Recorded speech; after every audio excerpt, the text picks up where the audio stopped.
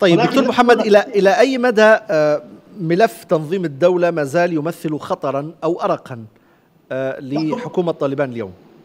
نحن قلنا هذا في البداية أيضا وقبل ذلك أيضا هناك في لقاءات أخرى بأن كتنظيم أو كأن حزب غير موجود في أفغانستان. وهذا نحن خير دليل نحن ذكرنا على ذلك سابقا أيضا بأن قبل مجيء الإمارة الإسلامية كانت هناك جغرافيا في اختيار هؤلاء. في شرق البلاد في ننجرهار وفي كونر وفي شمال البلاد في جوزجان وفي بادغيس وفي فارياب وأيضا في محافظة الغور كان لهؤلاء هناك جغرافيا في اختيارهم وكان لهم تحرك عملي واضح جدا.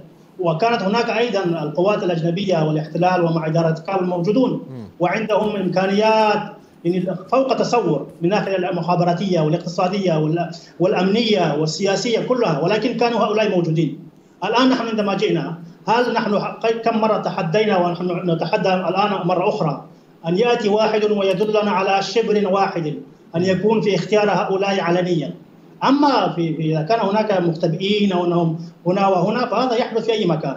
ولكن مع كل ذلك نحن الحمد لله استطعنا أن نقضي على هذه المشاكل بشكل كبير. ولكن هناك بعض المشاكل موجودة وهي في أي بلد حتى في البلاد البلاد المستقرة ومنذ زمان موجودة. نعم وصلت.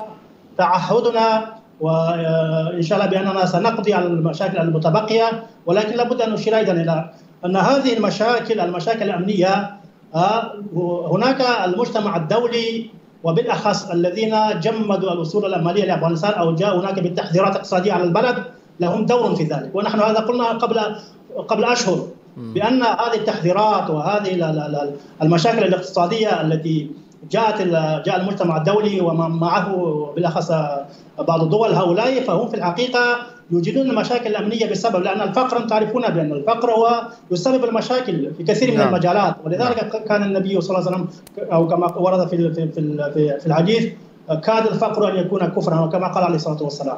اذا الفقر هذا سبب سبب من من الأسباب المهمة للمشاكل فسبب بعض المشاكل الأمنية لا شك في أن لها دور في هذه التحذيرات لهذه نعم. هذه المشاكل ونحن قلناه في الإعلام أيضا وقلنا لهؤلاء أيضا في المجالس الخاصه أيضا في اللقاءات قلنا لهم بان هذا يسبب المشاكل الامنيه وأن بعد ذلك طبعا هذه المشاكل لا تبقى فقط في أفغانستان نعم. وأنها تسبب المشاكل للجميع فاذا نحن مرة أخرى نقول للمجتمع الدولي والولايات المتحدة الأمريكية ولغيرهم الذين لهم دور في تجميد الأصول المالية لأفغانستان وانهم وضعوا هناك تحذيرات اقتصادية على البنوك وعلى هذه الأمور فأن يرفعوا هذه هذه التحذيرات.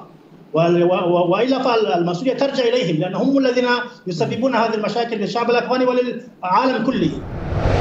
نعم.